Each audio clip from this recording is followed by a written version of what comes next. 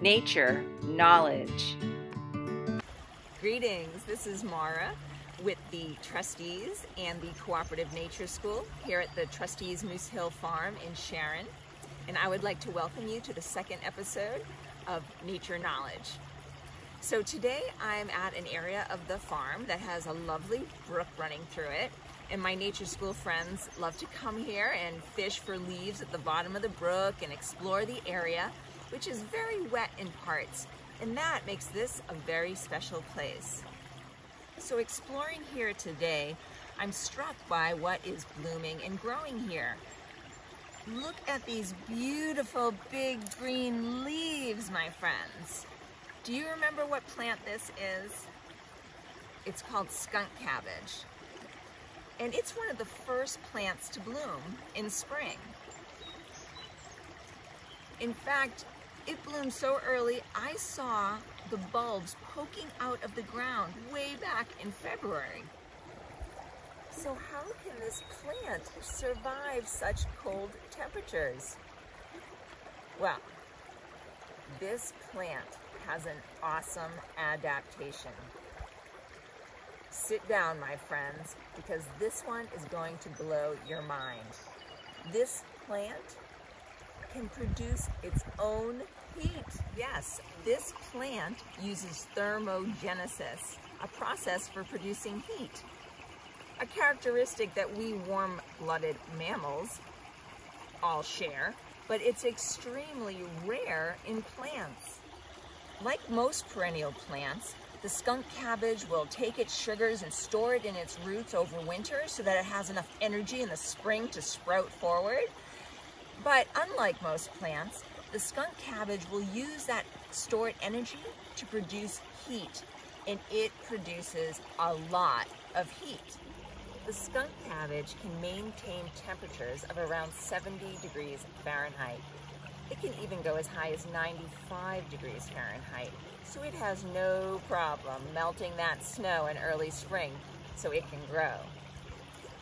Now in early spring, the temperatures can be still quite cool, and there are bees and other critters that take advantage of the heat-producing skunk cabbage. So sometimes, if you take a look, you might find one of those critters inside the flower of the skunk cabbage, enjoying a bit of a sauna treatment.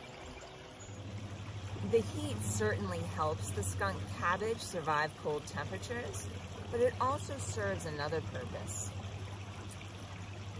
The heat from the skunk cabbage enables its scent to be more volatile so that it distributes farther afield so that the pollinators can identify the plant and find it with ease. Friends, do you remember what the skunk cabbage smells like? Its name offers a hint. The skunk cabbage smells like skunk. Why?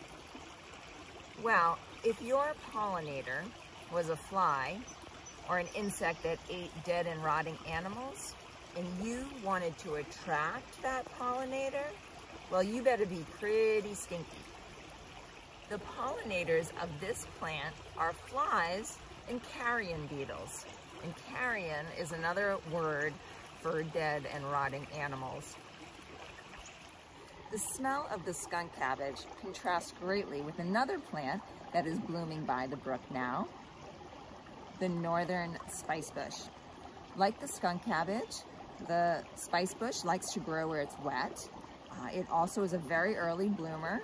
And like the skunk cabbage, its name suggests what it smells like. Can you guess?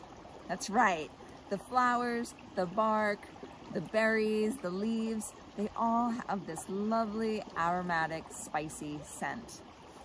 So our local bees are the most common pollinators for this plant. The bright yellow flowers and aromatic scent attract the bees and other pollinators that enable this plant to produce these gorgeous red berries uh, that our local birds love to eat.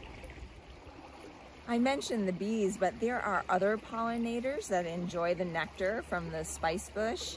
Our mourning cloak butterfly, one of the first butterflies we see after winter, in those gorgeous spring azures. They love the nectar of this plant as well. And there is one butterfly who is so connected to the spice bush that it has the word in its name, the spice bush swallowtail. Spice bush swallowtail butterflies lay their eggs underneath the leaves of the spice bush. And the caterpillars love those leaves. And I know some of my nature school friends have seen those caterpillars and they, like the skunk cabbage, have awesome adaptations. To keep away the birds, the main predators of the spice bush swallowtail caterpillar, they have a few tricks. The caterpillars, when they first hatch, first look like bird droppings, which the birds are not interested in. And then their markings start to make them look like scary snakes, which the birds are afraid of. They even have another trick, as if that wasn't enough. The caterpillars, when they're eating and they've decided they're done with the leaf, they will chew the stem so that the leaf falls to the ground destroying all evidence that they had been there. So the birds don't know they're on the shrub. I think that's pretty smart of the spice bush swallowtail. And I'm looking forward, friends, to coming back here when this spice bush leaves out and checking to see if we can find some eggs under the leaves. There's one more plant I want to point out to you. This one right here. This, do you recognize it? Is cinnamon fern. And like the skunk cabbage and the spice bush, it likes to grow where it's wet and it's also growing in early spring along the brook. Um, but unlike those other plants which produce seeds, this plant produces spores and that's how it reproduces. Of course, that's a topic for another episode. But right now, the cinnamon fern is in its fiddlehead stage. And maybe um, you can recognize the curl, um, makes it look somewhat like the, the head of a fiddle that you can play, the musical instrument.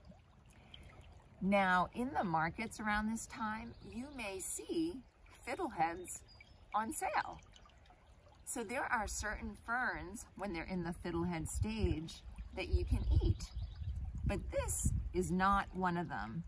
And this little woolly coating that you see on top of the, around the fronds is a good clear indication that this is not edible. So friends, all these plants, the skunk cabbage, the spice bush, the cinnamon fern, they all grow here on the farm in early spring. And they're just one of the many, many things that make Moose Hill Farm a special place. And I encourage you to come and see for yourself. Okay, that's uh, it for nature knowledge. And uh, now that you have the knowledge, I encourage you to go and explore and let me know what you discover.